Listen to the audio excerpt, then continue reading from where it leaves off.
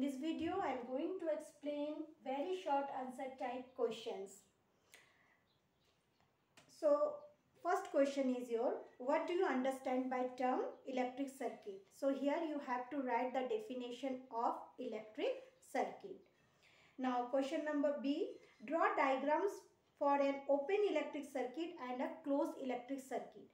Whenever you draw the circuit for open, you have to show the key as a open. Like this, if I draw one simple circuit with bulb, this is your battery and here it is a key. If I draw this type of key, it means now this is your open circuit. And in the open circuit, no current is flowing through the circuit.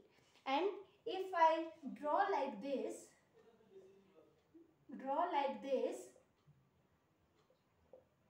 with this key if I put one dot it means now it is your closed circuit and whenever in closed circuit the current is flowing from positive to the negative. So these two are the diagrams for your open circuit and the closed circuit. You can use the symbol of key like this also. This is for open and this in means in place of this symbol you can use this one also. Or for this closed you can use like this two dots and by joining these two dots. Now question number 2 give the symbol of the following electrical components. Electric cell you know that electric cell is given by this symbol. Then electric battery. Battery means the combination of cells like this then resistance, this is the symbol of resistance. Then symbol of rheostat, if you draw this one and put one arrow with resistance, that is the symbol of rheostat means variable resistance. And the fuse, fuse actually this part we have not done. This one will come in the next part that is your heating effect of electric current. Now question number 3, complete the following statement. Two fill in the blanks are given here. In series circuit, overall resistance is less than the resistance of the individual resistance. So in series connection, we always get the more resistance because Rs is equal to Rs is equal to R1 plus R2 plus R3 and so on. Whenever we add, we always get the quantity more. Whenever we divide, then it always get the quantity less. So First one will be more than the resistance of the individual resistor and in a parallel circuit overall resistance is less than resistance of the individual resistors. Question number 4 state Ohm's law. You have to state the Ohm's law that is equal to V equal to Ri. So a statement you can see from your textbook also. Now question number 5. A wire of resistance 10 ohm is bent in the form of closed circle. It means we have one wire. First of all we have a wire. Wire and this wire you have to bend in a circle. And this wire has a resistance how much? Given resistance of the wire is your 10 ohm and this straight wire is now bent in a, in a circle into a circle. Now, what is the effective resistance between the two points at the end of any diameter of the circle? If I consider this one is the diameter of the circle, this is the end A and this is the end B. Now, whenever you make the straight wire into circle, then its resistance is divided into two semicircle part equally.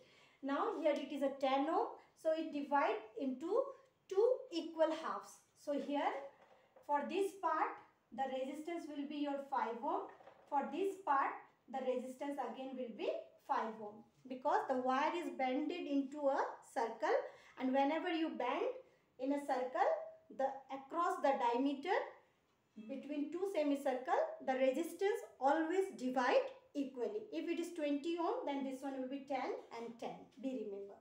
Now you have to find the equivalent resistance between AB. If you see one, they are connected in parallel. So I can write here 1 by RAB is equal to 1 by 5 plus 1 by 5. This becomes 2 by 5. 1 by RAB. So RAB is equal to 5 by 2 which is equal to 2.5 ohm. So 2.5 ohm is the answer. Now question number 6. Should the heating element of an electric iron be made of iron, silver or nichrome wire? Again this question is actually the based on the heating effect of electric current. This one we are going to discuss in the next part. But you remember one thing for heating element we always need a more resistance. So if you come see here the three uh, three material which are given as iron, silver and nichrome. Out of this nichrome wire has a maximum resistance. If the maximum resistance then the heating effect is also more. So which one we can use to make the heating element? Yes, we can use the nichrome wire. Define the term resistivity of a material. You have to define the resistivity of a material. It is numerically equal to the resistance of a conductor having unit length and unit cross-sectional area. Calculate the resistance of a conductor if the current flowing through is 0.2 ohm.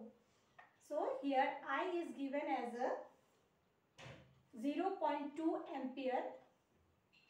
Then uh, V is given as a 0.8 volt and you have to find the resistance. So you use the Ohm's law that is V equal to Ri. So R is equal to V by I. Put the values and solve the uh, solve the uh, V by I, you will get the answer for resistance. Now, the last question of this section, a cylindric cylinder of material 10 centimeter long has a cross section of 2 centimeter square. Cylindric cylinder, here given length is equal to, L is equal to 10 centimeter. Cross sectional area A is given as a 2 centimeter square. If the resistance along the length be 20 ohm, so R is given as a 20 ohm. Find the resistivity and its unit. So you have to find the rho. Now we know that rho is equal, rho means resistivity. It is RA by N. So R is given as a 20, A is given as a, you can write here 20 ohm a is given as a 2 centimeter square and L is given as a 10 centimeter. So centimeter, centimeter get cancelled 1, 1. So this is 20 into 2 ohm centimeter by 10. So cancel this one. This one will be 4 ohm centimeter. Now convert this centimeter into meter. Divide by 100. So 4 by 100 ohm meter. So this one equal to 0 0.04 ohm meter is the resistivity. So you your work is you have to do all the questions from 1 to 9 of very short answer type question in your copy.